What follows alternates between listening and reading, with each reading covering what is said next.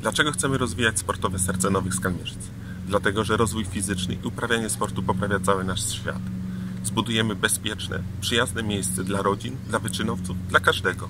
Szczegóły na stronie danielmitła.pl